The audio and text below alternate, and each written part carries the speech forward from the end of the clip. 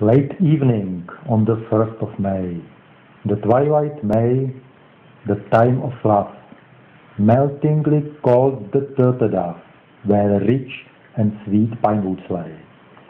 Whispers of love, the moses frail, the flowering tree a sweetly light, the roses fragrant slightly bright, to love songs of the nightingale.